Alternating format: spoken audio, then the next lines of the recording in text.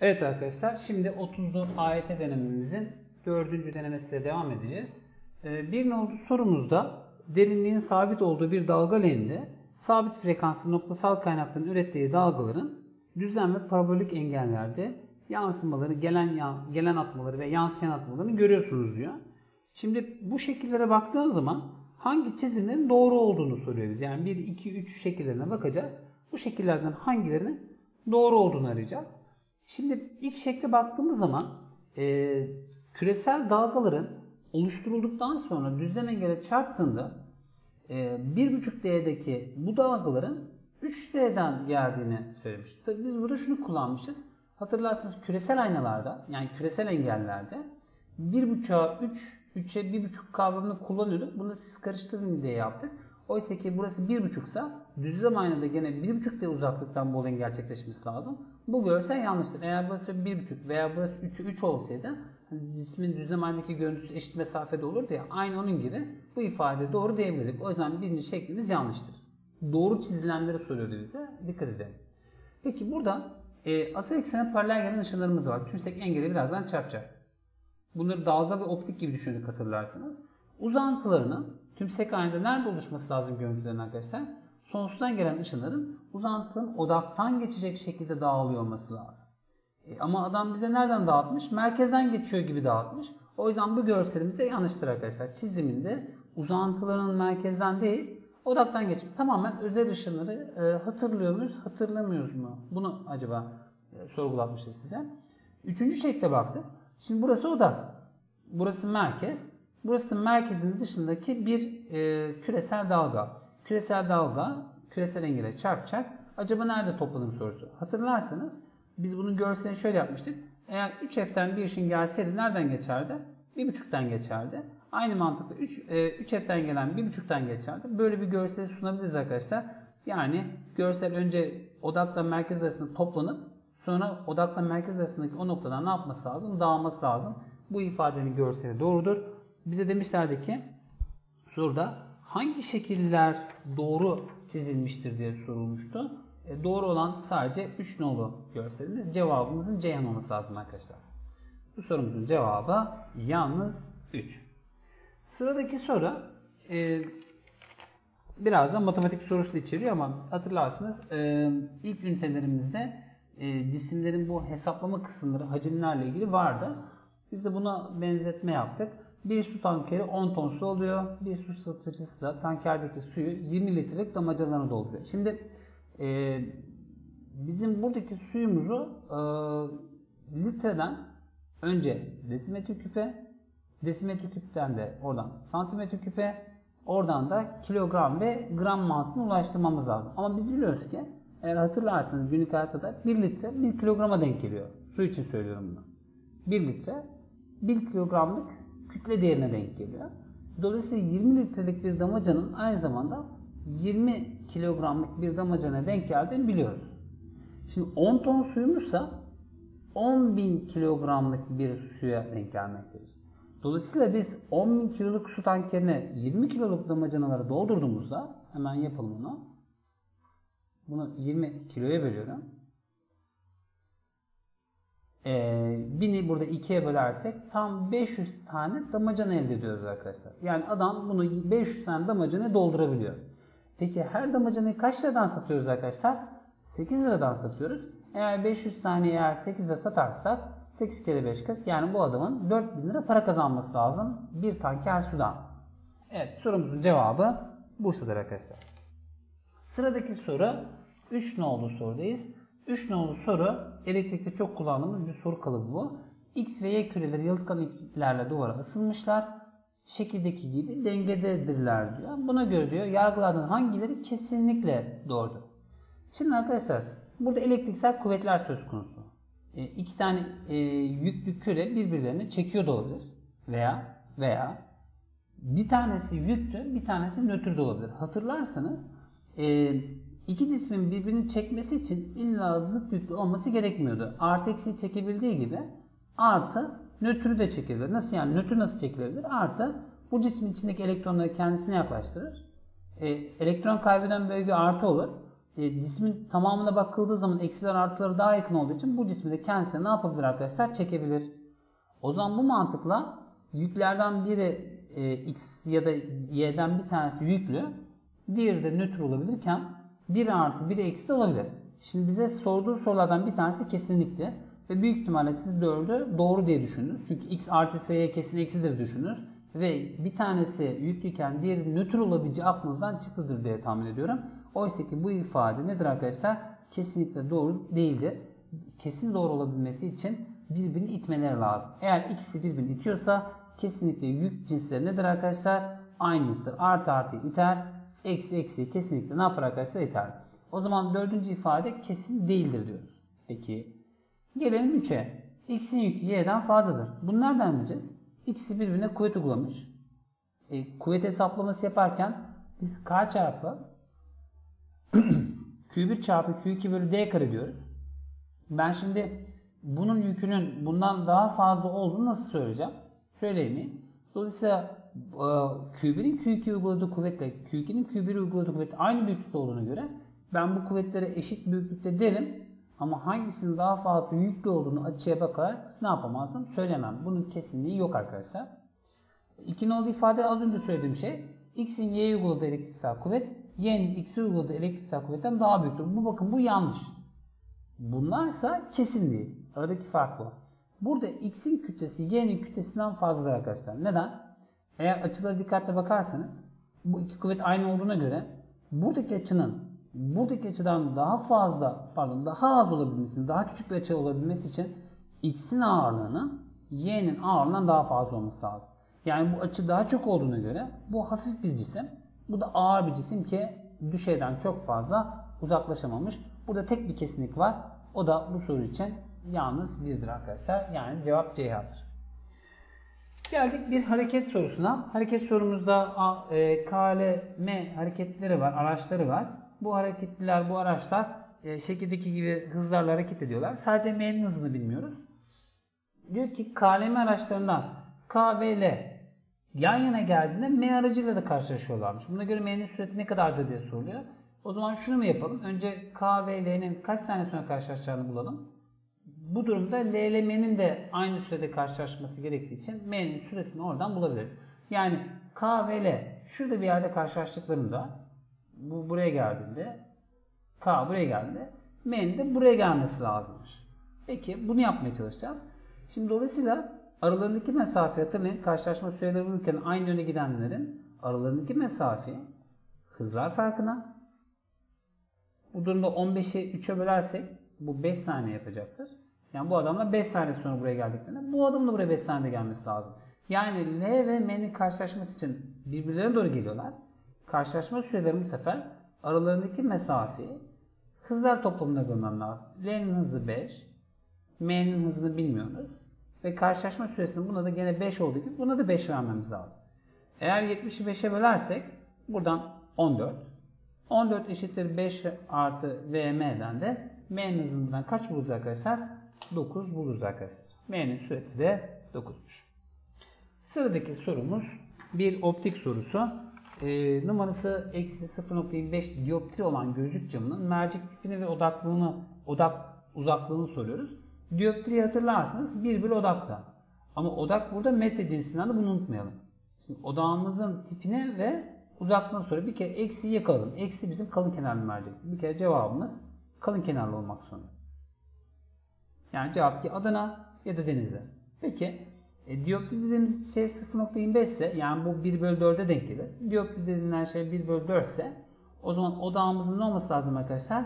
Metre cinsinden 4 metrelik bir mesafe eşit olması lazım. Bu sorumuzun cevabı Adana olmalı arkadaşlar. Sırada bir kütle merkezi sorumuz var. Düzgün ve türdeş olmayan KLM levhalar şekildeki gibi dengelidir diyor. E, bunların e, ağırlıkları ile ilgili hangileri doğru olabilir diye soruyor. Şimdi ben bunların dengeli olduğunu biliyorum ama e, türdeş olmadıkları için e, burada tabii bunu kafa karıştırıcı olarak kullanmışız.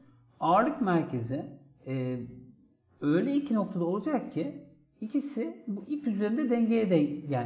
Yani mutlaka K'nın ağırlık merkezi ile L'nin ağırlık merkezi kesiştiği nokta bu ipin üzerindeki bir doğru olmak zorunda. Yoksa sistem döner. E şimdi bu durumda K'nın ağırlığı L'ye eşit olabilir. Mesela örnek veriyorum. Diyelim ki K'nın ağırlığı şurada olsa ve L'nin ağırlığı şurada bir yerde olsa ve eşit mesafede olsalar. Çünkü soru ne? Olabilir. O zaman ben olabilecek bir şık arıyorum. K'nın ve L'nin ipi olan uzaklıkları eşit uzaklıkta olsa o zaman K ve L aynı ağırlıkta olabilirler. Bunu hallettik. Aynı şeyi burada KM için de söyleyebiliriz. K'nın buraya olan uzaklığıyla M'nin ağırlık merkezinin buraya olan uzaklığı eğer aynı olursa böyle bir şey olabilir düşünürsek o zaman K ile de M aynı ağırlıkta olabilir. Bu durumda K ile M de L ile de M de aynı ağırlıkta olabilir diyoruz. Sorumuzun cevabını alın diyoruz arkadaşlar. Üç ifade de doğru olabilir. Sorumuzun cevabı.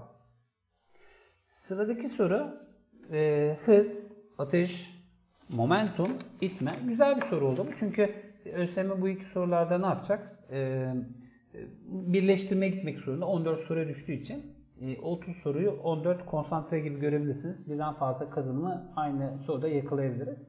E, X, Y, Z cisimleri serbest bırakılıyorlar.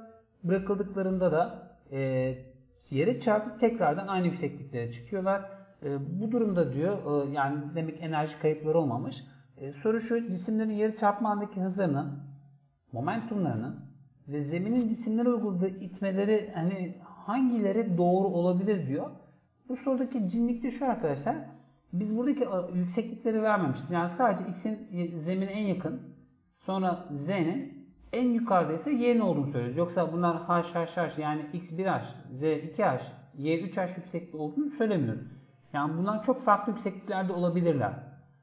Ee, biz gene olabilir yapmaya çalışacağız. Mesela e, sistemleri serbest bıraktınız. Ne yaparsınız yapın? Sürtünmesiz bir ortamda y yere en hızlı, sonra z, sonra da x düşer. Değil mi arkadaşlar? Yani havada kalma sürelerini sorsaydı en fazla havada y, sonra z, sonra da x kalırdı. E bu durumda birinci ifade zaten kesinlikle doğru. Yani yükseklikler ne olursa olsun şu anda y en yukarıda olduğuna göre y, z, x sıralaması kesinlikle olmalı. Peki geldik 2 ve 3'e. Bunları olabilir yapabilir miyiz? Çünkü bunların yere çarpma andaki momentumları hızlarıyla kütlelerin çarpımıyla bulunuyor. Yani momentum dediğimiz şey m çarpı v'dir. E şimdi bu en hızlı yere çarptığına göre acaba ben bunların üçünden momentumları aynı yapabilir miyim? Mesela y yere 6v hızıyla çarpsa o zaman momentum 6mv yapmaz mı? Peki z yere 3v hızıyla çarpsa kütlesi de 2m olduğu için 6mv olabilir mi? Oldu. Peki 3m kütleli cisim yere 2v hızıyla çarpsa kütlesi 3m olduğu için yere 6m ile çarpıp her üçünde momentumları aynı yapabilir miyim? Yaptım. Böyle bir olasılık var mı sonuçta? Peki e, üçüncü ifade x ile z'nin moment itmelerin aynı y'nin ise bundan daha çok olduğunu söylüyor. E şimdi yere çarpma andaki momentumlarıyla itmelerini aynı oranda tutabiliriz biz bu soruda. Çünkü aynı yüksekliğe tekrardan çıkıyorlar. O zaman x ile z'nin momentumları aynı olabilir mi diye düşünüyorum. Olabilir. Demin yapmıştık bunları. 6m ve 6m. Hemen bunu kopyaladım buradan. Peki y'nin momentum daha az olabilir miydi? Şimdi z yere 3v ile çarptı. O zaman kesinlikle z yere 3v ile çarpıyorsa örneğimizde y'nin 3v'den daha çok olması lazım. Ama bu örneğe de uygun yapmaya çalışıyorum. Mesela y yere 4v ile çarpabilir miydi? Çarpabilir. Sonuçta bir tık daha yukarıda olduğu zaman bunu ayarladı. Hatta 3.1 bile olabilirdi. E o zaman momentum 4 mv olur.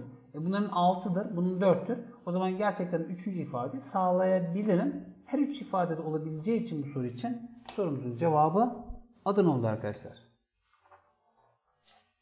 Sıradaki soru e, elektriksel kuvvetlerin veya elektriksel kuvvetlere karşı yapılan işlerle ilgili bir soru. E, yüklük artı Q, eksi Q ve artı 2Q yüklerimiz var. Bu yüklerden e, belirli uzaklıktaki e, noktalarda e, L noktasından arkadaşlar K noktasına doğru hareket ediyoruz. L'den K'ya doğru, L'den K'ya doğru, L'den K'ya doğru hareket ediyoruz. Şimdi diyor ki e, bu sırada yapılan işler W1, W2 ve W3'müş. Bu işler yapılırken yani şu görselleri 1 2 3 işleri yapıyoruz. O zaman buna göre hangi seçenek yanlış olarak verilmiş? Yanlış bir sonuç arıyoruz burada. Şimdi arkadaşlar bu yüklerin K ve L noktasındaki bu yükün K ve L noktasındaki bu yükün K ve L noktasındaki potansiyeller eşittir. Çünkü potansiyel hesaplarken K Q bölü R'dir.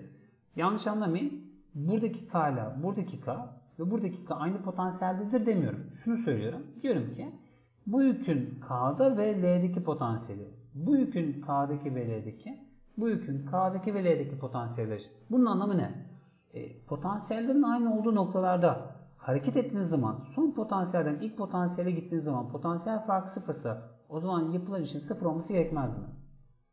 Aynı mantıkla o zaman buradaki potansiyel atıyorum eksi v eksi v desek eksi v'den eksi v gidersek burada da yapılan işin sıfır. Burada da aynı mantıkla yapılan işin sıfır olması gerekmez mi? Her üç işte de arkadaşlar yapılan işler sıfırdır. Dolayısıyla bu seçeneklerin hepsi doğrudur. Ama burada sanki birinin daha fazla iş yapılıyormuş gibi gösteriliyor. 8 nolu sorumuzun cevabı Adana olması gerekiyor arkadaşlar. Sıradaki sorumuz bir elektromanyetik sorusu. E, bobin, selenoid, akım makarası da diyoruz. E, elimizdeki elektron mıknatısın oluşturduğu manyetik alan B'dir diyor. İsterseniz sahil kuralına göre eğer tırnaklarımızı gösterirsek şu sahil kuralına göre manyetik alanın sol doğru olduğunu hatta bu tarafın kuzey kutbu buranın güney kutbu olduğunu oluşturduğumuz manyetik alanın şiddetinin 4 pi k i n bölü l olduğunu da söyleyebiliriz. Kim bu 4 pi k? Zaten bunlar sabit. Buraya çok odaklanmamıza gerek yok. Akım terden geçen akım. N sarım sayısı. L de sarım sıklığı. Zaten bunlar burada verilmiş. Şimdi ne yaparsam bu yargıların doğruluğunu ve yanlışlığını araştıracağız. Hangileri bu işlemler yapıldığında yanlış olur diye söylüyor. Şimdi A yani bobinin kesit alanı artarsa B değişmez diyor. E doğru. Çünkü zaten A'ya bağlı değil. Gördüğünüz gibi B kesit alanı değişmesinden etkilenmiyor. Bu ifade doğrudur. Yanlış arıyoruz. Sürgü ok yönünde çekilirse eğer sürgü ok yönünde çekerseniz direnciniz artar. Direnç artarsa vır mantığına göre direnç artarsa pil değişmediği için akım azalır. Akım azalırsa manyetik alan azalır. Sürgü ok yönünde çekilirse B azalır. Bu ifade doğru oldu. Ee, sarım sayısını değiştirmeden L'yi artırırsak yani biz bunu değiştirmeden bunu artırırsak daha sık sararsak L artarsa yani, yani pardon seyreklik artarsa manyetik alan şiddetimiz ne yapması lazım? Azalması lazım. Oysa ki burada değişmez demiş. Yanlış olduğunu arıyoruz. Bunu alacağız yani. Gerilim artarsa B azalır diyor. Oysa ki gerilim artarsa yani V eşittir I bölü R mantığında gerilim artarsa akım artar. Akım artarsa manyetik alanı artar. Dolayısıyla azalır demek yanlış olacaktır. Artar olması lazım. Yanlış olanları aradık. 3 ve 4 bu ifadenin yanlış olanları. Sıradaki sorumuz bir alternatif akım sorusu. E diyor ki RR, RC ve RC devrelerinin T periyotlu bir alternatif akım kaynağıyla özdeşik kaynaklar kullanarak e, bir karşılaştırma yapılması isteniyor. Soruda şöyle. Alternatif akım kaynaklarının periyodu arttırılırsa hangi devrelerde etkin akım değeri kesinlikle azalır diye soruyor. Şimdi hatırlarsanız şöyle yapıyorduk. Direncimizin R direncimizin değerini yatayda şöyle hemen şurada gösterelim. Ama bobinimizin direncini düşeyde ve şöyle gösteriyorduk. X ile. Ve bobinin direncini bulurken W çarpı L diyorduk. Hatırlayalım bunu. Burada L ve C'nin yani bobinin ve kondansatörün direncini gösterirken yukarı doğru X ile ve kondansatörün direncini gösterirken aşağı doğru XC ki kondansatörün direncini bulurken 1 bölü W çarpı C diyeceğiz. Burası W çarpı L ile devam ediyorum. Burada R direnci yatayda, kondansatörün direnci ise düşeyde olacak. Yine kondansatörün direnci bulurken 1 bölü W. Soru şu, periyot artarsa. Şimdi açısal hıza gidersek periyodun artması demek açısal hızın azalması demek. Bakın R'ye dikkat ederseniz R açısal hızın değişiminden etkilenmiyor. Yani R hala aynı. Hiçbir yerde R'ye dokunmayacağız. Hiçbir yerde R değişmedi. Şimdi e, burada açısal hız azaldığına göre e, bobinin direnci azaldı. Burada bobinin direnci azaldı. Burada açısal hız ters orantılı olduğu için arkadaşlar açısal hız azaldığı için e, kondansatörün direnci artmaya başladı. Burası küçüldü, burası arttı. Peki üçüncü şekle geldim. Burada gene açısal hız azaldı. Gördüğünüz gibi e, buradaki kondansatörün direnci ne yaptı? Arttı. Şimdi şöyle bir durum oluşmadı mı? Burası küçülür. Bu kesin. Yani biz buna empedans diyoruz. E şimdi vır mantığına göre biz burada vız diyorduk. Eşdeğer direnci Z ile gösteriyorduk. Şimdi eşdeğer direnciniz nasıl değişirse etkin akım değeriniz azalır. Kesinlikle azalacak bir şey. Yani etkin akımınız azalabilmesi için empedansınızın artması lazım. E, empedans dediğiniz şey burada. Kesinlikle ne yapıyor arkadaşlar? Azalıyor. E, empedans azalırsa akım artar. O zaman birinci ifade gitti. Biz bunu kullanamayız. İkinci ifade geldi. Şimdi buradaki sıkıntı şu. Biz xl ve xc değerlerin başlangıç halini bilmediğimize göre bunun küçülüp bunun artması esnasında empedansın yani bir ikisinin bileşkesinin nasıl olduğunu nasıl söyleyeceğiz? E, bu kesinlik sorusu olduğuna göre burada kesin bir şey veremediğime göre bunun arttığını ya da azaldığını nasıl söyleyeceğiz? Bu durumda akımda söyleyemeyeceğimize göre bu soruda kesinlik yoktur, yoktur oluyor. Üçüncü şekle geldim. E, kondansatörümüzün direnci arttı mı? E, direnç aynı kaldı ama bu ikisinin mesela bu daha uzun olsa kesinlikle empedansınız daha büyük oldu. Eskiden daha küçüktü. Empedans artarsa az önce söyledik akım azalır. Kesinlikle 3 nolu şekilde ne olmuştur arkadaşlar? Etkin akım değeri azalır. Sorun cevabı tek kesinlik olan Bursa'da yalnız 3'te olacaktır. Sıradaki soru e, ses dalgalarının Doppler ile ilgili bir soru gelmiş. Bir ambulans hareket ediyor. Ambulans hareket ederken e, V hızıyla F frekanslı frekanslar ses üretirken KLM noktalarındaki gözlemcilerin bu hangi frekansta sesi algıladıkları soruluyor. Oysa ki biz şöyle söylemiştik hatırlarsınız. Doppler etkisine göre oluşturduğumuz ses dalgaları, mesela şöyle bir ses dalgası oluşturduğumuzu düşünelim. Birazdan hareket ettiğinde buraya geldiği zaman bu bölgedeki dalga boyları daha küçük, buradaki dalga boyları ise daha büyük olduğunu göreceğiz. Yani buradan izleyen, dinleyen dinleyiciler e, frekansını daha büyük çünkü dalga boyuyla frekans ters orantılar. Dolayısıyla buradaki daha ince bir ses burada daha kalın bir ses duyacaktır. Dolayısıyla frekans burada nedir? Daha azdır. Yani K'daki gözlemci frekansı daha az algılamış olması, F'den daha az olması, L ve M'deki gözlemciler aynı gözlemleyip gözlemliktir frekansın ise daha yüksek olması gerekiyor. Yani bu durumda sorumuzun cevabı Bursa'daki gibi olması lazım arkadaşlar. Sıradaki soru bir bilgi sorusu. Maxwell denklemlerinin dayandığı temellerle e, bunların ilgilendiği yapıları eğer eşleştirseydik nasıl bir e, görüntü, görünüm oluşur diye soruyoruz. Şimdi Gauss yasalarını hatırlarsak durgun yüklerin ve hareketli yüklerin e, yasalarıydı. E, Faraday yasası ise değişken bir manyetik alandan dolayı oluşuyordu. Manyetik dolanımsa amper yasasıyla alakalıydı arkadaşlar. 12 nolu sorumuzun cevabı direkt bilgi olmuş. Bunu zaten oku kitabımızda da kazanımlarda görebilirsiniz.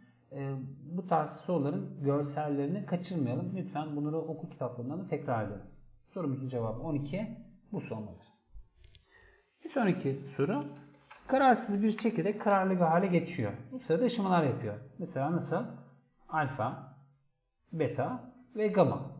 Şimdi bu ışımalardan hangileri elektrik alanda sapmaz diye soruyor. Şimdi alfanın kütlesi var, yükü var. Beta'nın e, kütlesi var, yükü var. Ama gamma ışının kütlesi yok, yükü yok. Çünkü bu bir elektromanyetik dalga. E, hatırlarsınız elektromanyetik dalgalar elektrik alanda ve manyetik alanda sapmazlardı. Fakat bunların yükleri ve kütleleri olduğuna göre bunların elektrik alanda, manyetik alanda ve yer çekimi etkisinden etkilenmeleri gerekiyor. Sorumuzun cevabı yalnız 3 olması lazım arkadaşlar. Adan olması lazım. Bu denemedeki yani 4 nolu denememizdeki e, son sorumuz 14 nolu sorumuzun cevabına geliyor şimdi. E, sorumuz bir Compton olayı. Lambda dalga boylu fotonlar durmakta olan serbest elektron çarpıyor şekil 1 2 3'teki gibi. Diyor ki bu çarpışma sonrasındaki saçılan fotonların dalga boyları lambda 1, lambda 2, lambda 3 olduğunu göre bunlar nasıl sıralanır diye soruyor.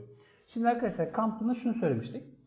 Gelen foton enerjisini ne kadar çok elektrona aktarırsa kendisi o kadar sapmaktadır. Yani gittiği doğrultunun o kadar fazla bir açı yapmaktadır. Şimdi sırf bu sözlü, sözel bilgiyle bile burada en çok sapanın 2, en az sapanın ise 3 olduğunu görüyoruz arkadaşlar. Yani sapma miktarı geldiği doğrultuya baktığın zaman geldiği doğrultudan en çok sapan 2. E, sonra 1, en az sapansı 3 olmuştur. Şimdi ne kadar az saparsanız elektrona aktardığınız enerji o kadar az oluyor. Enerjiyi o, ne kadar az aktarırsanız size kalan enerji o kadar çok oluyor. Yani burada enerjisi en çok olan kimdir diye sorsanız bana ben 3 derim. En az enerjisi 2'de kalmaktadır bu mantıkla. Şimdi e, enerji dediğimiz şey H çarpı F ve HC bölü lambda değil midir?